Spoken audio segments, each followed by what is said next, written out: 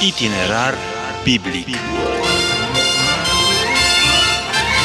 Itinerar biblic.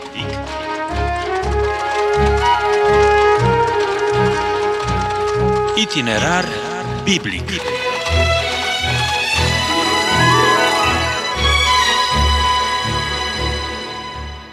Stimați ascultători, vă prezentăm programul Itinerar Biblic, inspirat din comentariile pastorului John Vernon McGee, adunate în colecția Through the Bible.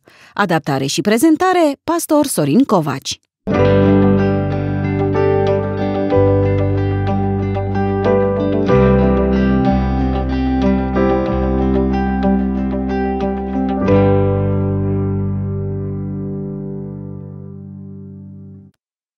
Dragi prieteni, încă nu am terminat cu cel mai important aspect legat de păcatul din viața omului.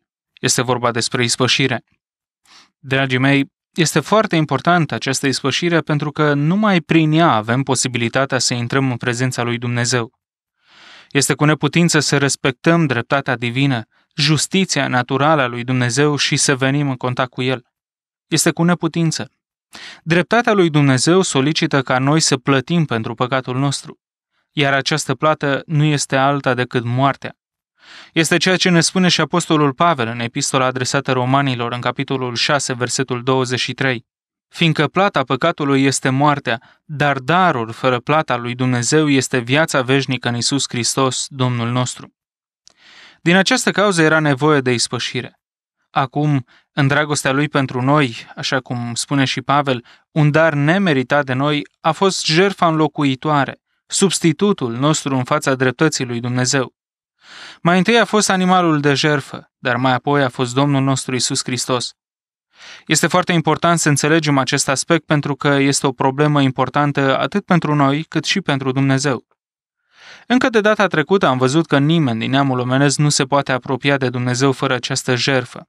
Chiar preotul care făcea ispășirea pentru întregul popor trebuia să aducă mai întâi jerfa pentru el. Abia apoi putea intra în locul unde aducea jerfele pentru cei din popor. Însemnătatea acestei jerfe vine și din faptul că ea nu se făcea săptămânal sau lunar. Era o singură zi pe an prevăzută pentru această jerfă a ispășirii. Oamenii aveau datoria de a nu banaliza prin folosire repetată această importantă jerfă. Dragii mei, pentru noi, ispășirea a fost făcută chiar de Fiul lui Dumnezeu, odată pentru totdeauna. Depinde doar de credința noastră că această jertfă să devină operabilă în viața fiecăruia dintre noi. După ce preotul aducea jertfa pentru păcatele sale, se făcea ispășirea și pentru altar, pentru locul unde erau aduse păcatele oamenilor. Abia după aceea era adusă jertfa pentru popor. De fapt, acesta este fragmentul cu care continuă capitolul 16 din Cartea Levitic și vom începe cu citirea acestui text de la versetul 20. Când va isprăvi de făcut ispășirea pentru sfântul locaș, pentru cortul întâlnirii și pentru altar, să aducă țapul cel viu. Aron să-și pună amândouă mâinile pe capul țapului celui viu și să mărturisească peste el toate fără de legile copiilor lui Israel și toate călcările lor de lege cu care au păcătuit ei. Să le pună pe capul țapului, apoi să le zgonească în pustie printr-un om care va avea însărcinarea aceasta. Țapul acela va duce asupra lui toate fără de legile lor într-un pământ pustit, în pustie să-i dea drumul. În această zi, marele preot îndeplinea tot acest ritual singur. Aron stropise cu sângele țapului Domnului capacul ispășirii și acum își punea mâinile pline de sânge pe capul țapului viu și mărturisea păcatele poporului evreu. Probabil că era o listă sordidă de păcate, dar el trebuia să le spună pe toate. Punerea mâinilor arată faptul că acum acest sap era identificat cu păcatele poporului Israel. Iată ce spun două versete din Biblie despre Hristos. Mai întâi, în Isaia, capitolul 53, versetul 6. Noi rătăceam cu toții ca niște oi, fiecare își vedea de drumul lui, dar Domnul a făcut să cadă asupra lui nelegiuirea noastră a tuturor. Sau, în a doua epistolă către Corinteni, capitolul 5, versetul 21. Pe cel ce n-a cunoscut niciun păcat, el a făcut păcat pentru noi, ca noi să fim neprihănirea lui Dumnezeu în el. Ambrozie spune și el, tâlharul știa că rănile din trupul lui Hristos nu erau rănile lui Hristos, ci ale lui. Apoi Aron dădea țapul pe mâna unui om care nu avea niciun interes personal cu privire la el și poporul era așezat la o parte pentru a urmări toată scena. În cele din urmă, țapul viu dispărea în pustie și nu mai era văzut sau găsit vreodată. Vestea că țapul dispăruse era transmisă din post în post, astfel că era cunoscută la cortul întâlnirii câteva minute mai târziu. Așa cum această veste era transmisă din post în post, vestea bună despre Hristos, care a luat păcatele lumii, a trecut de la Matei, Marcu, Luca și Ioan la apostolul Pavel, apoi la părinții bisericii primare, pentru ca să ajungă în cele din urmă la mine și la tine. Hristos a înlăturat păcatele noastre într-un mod de plin și definitiv. Țapul ispășitor și efectul lui sunt ilustrate în câteva fragmente din scriptură pe această temă. Astfel, în Psalmul 103, versetul 12, ni se spune așa. Cât este de departe răsăritul de apus, atât de mult depărtează el fără de legile noastre de la noi. Sau în Isaia, capitolul 38, versetul 17. Iată, chiar suferințele mele erau spre mântuirea mea. Tu ai găsit plăcere să-mi scoți sufletul din groaza putrezirii, căci ai aruncat înapoi a ta toate păcatele mele. Din nou, în Isaia, în capitolul 44, de această dată, versetul 22. Eu îți șterg fără de legile ca un nor și păcatele ca o ceață. Întoarce-te la mine, căci eu te-am răscumpărat. Iată ce spune Eremia în capitolul 50, versetul 20. În zilele acelea, în vremea aceea, zice Domnul, se va căuta nelegiuirea lui Israel și nu va mai fi, și păcatul lui Iuda și nu se va mai găsi, căci voi ierta rămășița pe care o voi lăsa. Tot Ieremia, în capitolul 31, versetul 34. Niciunul nu va mai învăța pe aproapele sau pe fratele său zicând, cunoaște pe Domnul, ci toți mă vor cunoaște de la cel mai mic până la cel mai mare, zice Domnul, căci le voi ierta nelegiuirea și nu voi mai aduce aminte de păcatul lor. Ce semnificație are ziua ispășirii pentru creștini? Aceasta este o zi sfântă și pentru noi. Când citesc despre marele preot care stă cu mâinile pline de sânge pe capul țapului pentru ispășire, mă gândesc la Domnul meu pe cruce.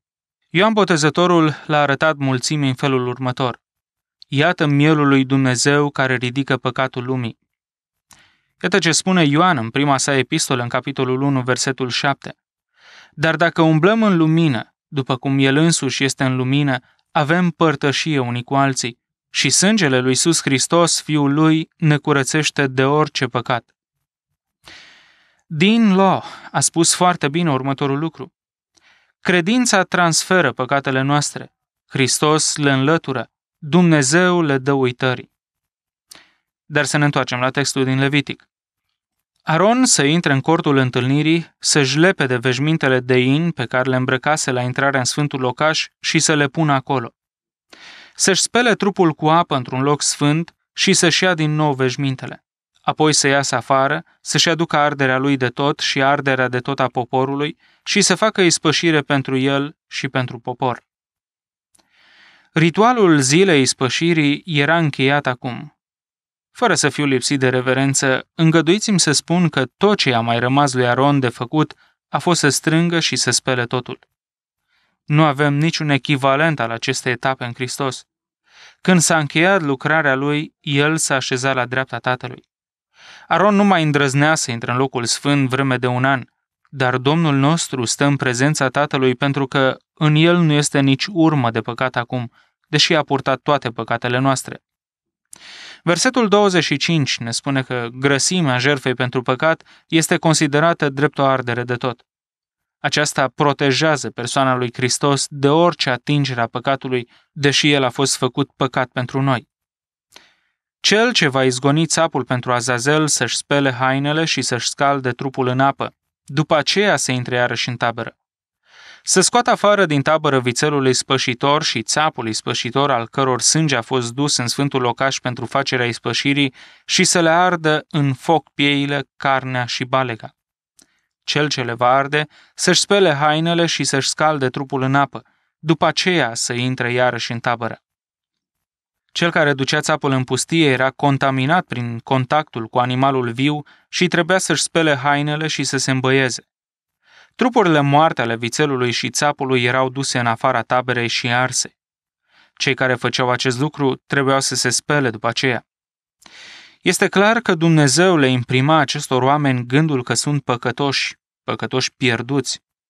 El arată astfel că El este un Dumnezeu sfânt și că păcatul îl desparte pe om de Dumnezeu. Dragii mei prieteni, noi am fost despărțiți de Dumnezeu prin păcat, dar Hristos a murit pentru noi. El este Cel care a ridicat păcatul nostru când a intrat în Sfânta Sfintelor cu sângele Său. Aceasta să vă fie o lege veșnică. În luna a șaptea, în a zecea zi a lunii, să vă zmeriți sufletele, să nu faceți nicio lucrare, nici băștinașul, nici străinul care locuiește în mijlocul vostru. Căci în ziua aceasta se va face ispășire pentru voi ca să vă curățiți.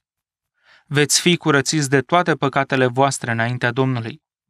Aceasta să fie pentru voi o zi de sabat, o zi de odihnă, în care să vă zmeriți sufletele. Aceasta să vă fie o lege veșnică. Ispășirea să fie făcută de preotul care a primit ungerea și care a fost închinat în slujba Domnului ca să urmeze tatălui său în slujba preoției. Să se îmbrace cu veșmintele de in, cu veșmintele sfinte. Să facă ispășire pentru locul preasfânt, să facă ispășire pentru cortul întâlnirii și pentru altar și să facă ispășire pentru preoți și pentru tot poporul adunării. Aceasta să fie pentru voi o lege veșnică, o dată pe an să se facă ispășire pentru copiii lui Israel pentru păcatele lor. Aron a făcut în tocmai cum poruncise lui Moise Domnul.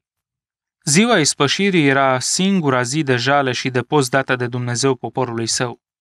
În această zi nu poți ura un Iom Chipur fericit, pentru că această zi nu este sărbătorită astfel.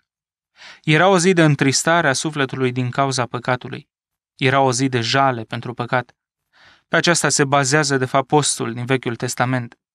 Această lege pentru ziua ispășirii trebuia respectată până când era adusă jerfa permanentă și veșnică pentru păcat. Aceasta a fost împlinită de Hristos în moartea lui pe cruce. Dragii mei, moartea lui a fost pentru noi. A fost pentru fiecare om de pe pământul acesta, pentru ca dreptatea divină să fie împăcată și în felul acesta lumea să fie împăcată cu Dumnezeu. Pavel ne spune și el lucrul acesta. Dumnezeu era în Hristos împăcând lumea cu sine, neținându-le în socoteală păcatele lor și ne-a încredințat nouă propovăduirea acestei împăcări. Sunt cuvinte adresate corintenilor în cea de-a doua epistolă, capitolul 5, versetul 19. Nouă ne-a fost oferită, dragi prieteni, această jerfă și mai mult, ne-a fost încredințată și responsabilitatea propovăduirii ei. Ce facem noi în această direcție? Dar mergem mai departe la un nou capitol din Cartea Levitic, capitolul 17. Unii comentatori consideră că acest capitol este o continuare a celui precedent. Există o succesiune aici, este adevărat, dar subiectul este diferit. Acum sunt luate în considerație locul unic pentru jerfe și valoarea sângelui. Acest capitol avea o semnificație practică pentru vremea marșului prin pustie și pentru perioada în care Israelul avea tabăra în jurul cortului întâlnirii. Prezintă considerații mai degrabă etice decât ceremoniale. Animalele domestice curate, folosite ca hrană, trebuia înjunghiate în fața cortului. Numai versetele 8 și 9 din acest capitol se referă în mod explicit la aducerea de jerfe. După împrăștierea poporului pe tot cuprinsul țării, unii dintre ei ajunseseră să trăiască la distanțe mari de cortul întâlnirii. Nu era nici practic, nici posibil ca toți aceștia să-și aducă animalele la ușa cortului și să le înjunghe acolo. În Deuteronom, Dumnezeu a revizuit aceste instrucțiuni atunci când poporul a fost gata să intre în țara promisă. Dar de ce a dat Dumnezeu astfel de instrucțiuni? Israel abia ieșise din Egipt, unde fusese înconjurat de idolatrie. Evreii se închinaseră idolilor egiptenilor și pericolul revenirii la idolatrie era încă prezent. Ei se închinaseră zeilor naturii din Egipt. Cuvântul tradus prin idol în versetul 7 este redat într-o altă traducere prin demoni, iar în ebraică este serim, care înseamnă cei păroși. Acest cuvânt se referă la țapii păroși. Egiptenii îl venerau pe Mendes, zeul țap, și grecii aveau un zeu țap, Pan, cunoscut din literatura și arta greacă. El este reprezentat ca având coarne, coadă și copite despicate. Creștinismul medieval a identificat ulterior această reprezentare cu diavolul. Cuvântul panică provine din această perioadă în care diavolul provoca teroare în rândurile oamenilor. Israelului îi era interzis să omoare orice animal în afara locului desemnat la ușa cortului întâlnirii pentru a împiedica astfel poporul să aducă jerfe zeului țap. Apoi aflăm că sângele nu trebuia mâncat sub nicio formă. Acest lucru era cu desăvârșire interzis. Motivul este expus foarte clar. Sângele reprezintă viața. Acest motiv are două aspecte. În primul rând, viața este sacră. Nici animalele măcar nu erau înjunghiate fără niciun folos. Sângele vorbește despre jertfa lui Hristos, în al doilea rând. Era mijlocul prin care se făcea ispășirea, simbolul împăcării și prototipul jertfei substituționare a lui Hristos. Viața este un lucru sfânt și trebuie protejată. Numai Hristos trebuie să-și dea viața pentru ca păcătosul să aibă viața la rândul său. Sângele și viața sunt sinonime. Omul nu trebuia să mănânce sânge sub nicio formă, dar el trebuie să bea sângele lui Hristos, adică să-și însușească prin credința în sângele vărsat de Hristos viața lui Hristos, jertfa lui Hristos. El și-a dat această viață pentru ca noi să trăim, să iubim și să lăudăm, deci, sângele lui Hristos și să vorbim despre el. În bisericile noastre se vorbește în surdină despre acest subiect. Dragi prieteni, dacă ezitați să vorbiți despre păcat, există pericolul de a diminua importanța sângelui lui Hristos. Dar să vedem ce ne spune textul biblic. Domnul a vorbit lui Moise și a zis, Vorbește lui Aron și fiilor lui și tuturor copiilor lui Israel și spune-le, Iată ce a poruncit Domnul.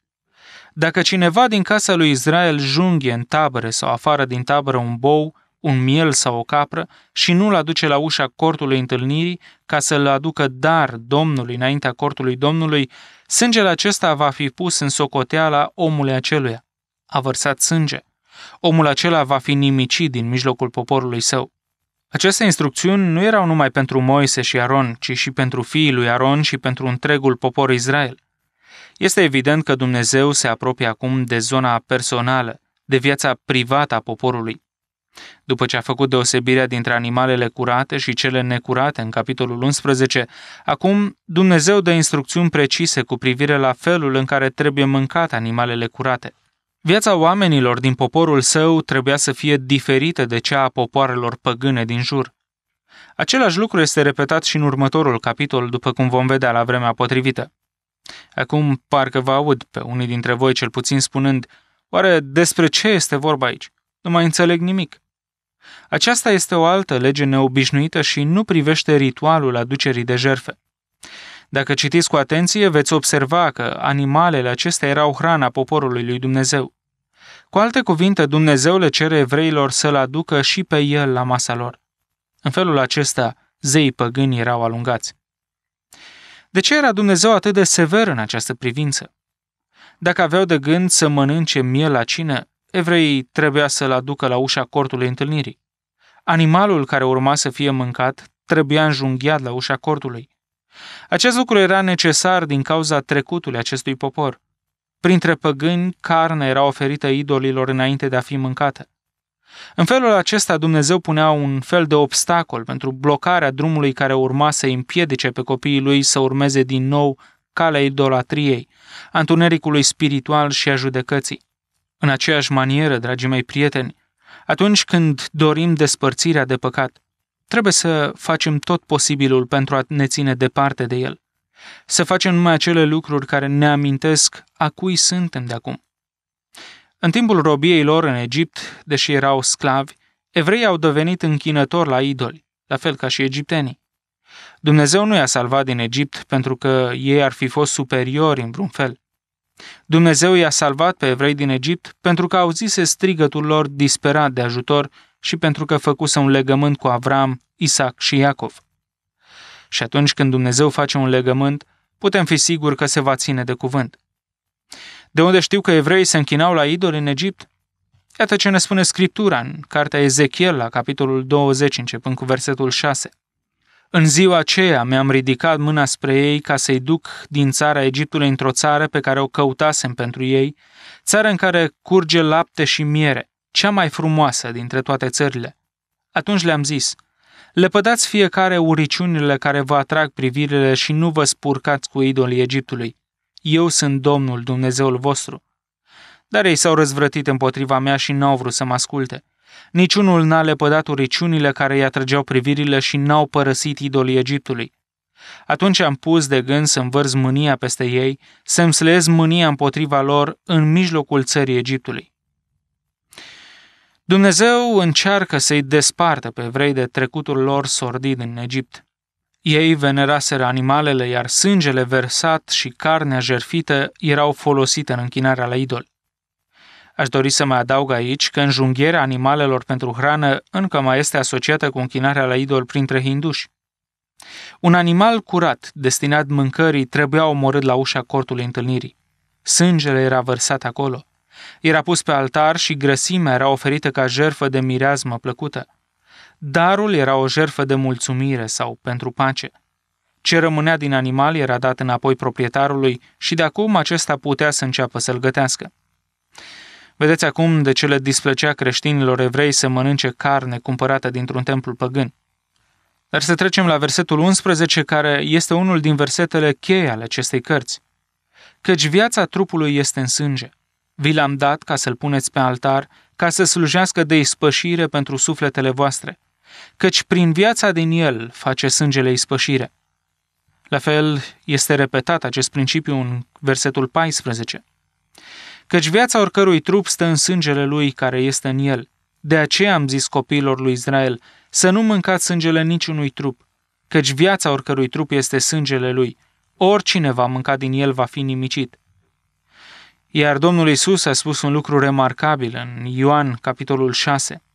Cine mănâncă trupul meu și bea sângele meu are viața veșnică, și eu îl voi învia în ziua de apoi căci trupul meu este cu adevărat o hrană și sângele meu este cu adevărat o băutură. Cine mănâncă trupul meu și bea sângele meu rămâne în mine și eu rămân în el. Iată de ce, dragi prieteni, trebuie ca noi să respectăm acest sânge al Domnului nostru Isus, sânge care a curs pentru noi, pentru izbăvirea noastră. Aici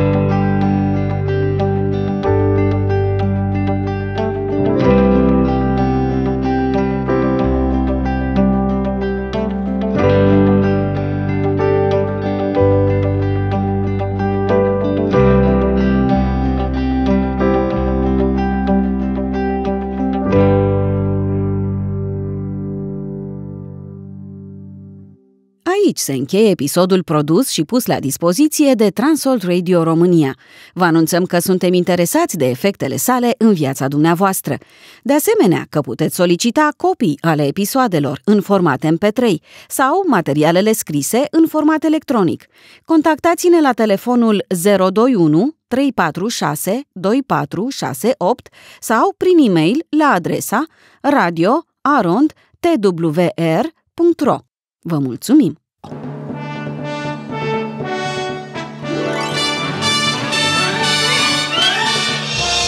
Itinerar biblic. Itinerar biblic.